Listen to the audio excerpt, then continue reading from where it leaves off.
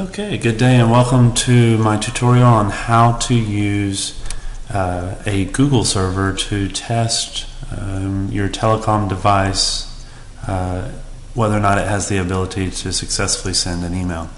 Uh, the reason this uh, particular server and, and, this method comes in handy is I frequently deal with technicians that are installing uh, devices on a, on a customer's network that's unknown to them and you know they'll get the device all configured and what will happen is the email won't successfully deliver to the client.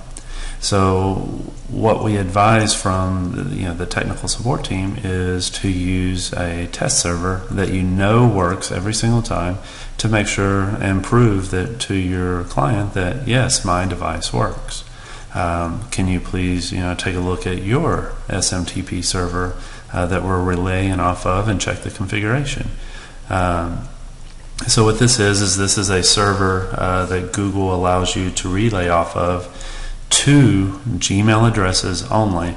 Uh, it does not require encryption, um, which at the end I'll show you, you know, why encryption is important.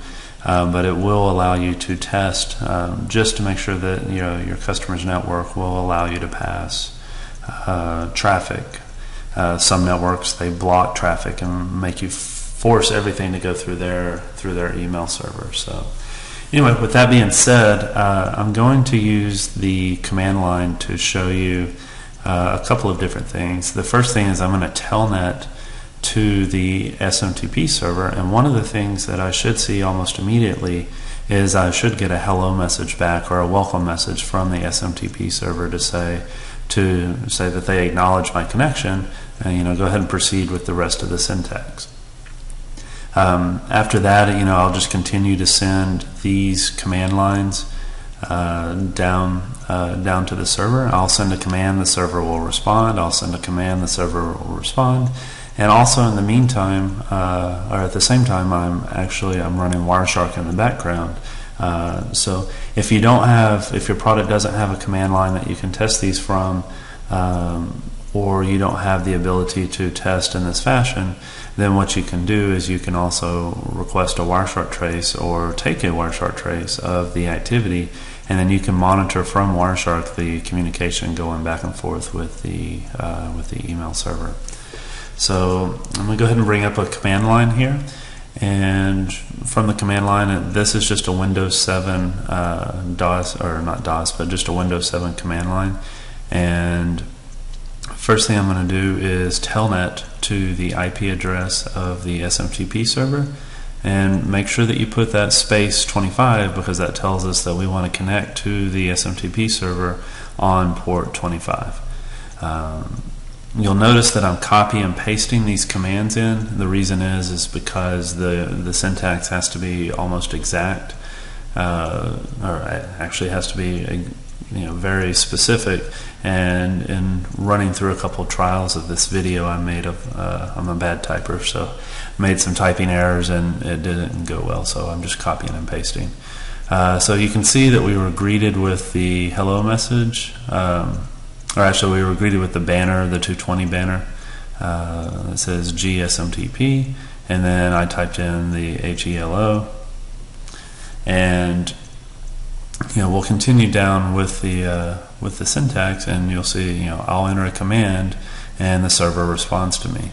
Um, so we we just told it where we want to send the email to, um, and now we're telling it we want what data we're going to send within the body of the email. Uh, so one of the things that we have to add now with the Google server is the from line. Without that line, you'll get an error message that says you're not compliant with the SMTP protocol. Um, then we can proceed to the body of the email. And after the body of the email is complete, we just put a single period, and that tells the the server that we're done sending information and it says okay that message was accepted and I type quit to exit the server and now I'm going to show you a screenshot of uh, my Gmail account in which that email actually uh, showed up so it says you know this is a test and just like I typed above um, so you know that will prove that you know that email actually made it to the destination. Uh, keep in mind, it only works with Gmail addresses. Uh, here is a Wireshark example the, the, of the traffic. Key thing I want to point out is if you look over at the right, you can see from this network capture every word that I typed in that email. Uh, with encryption, that won't be the case.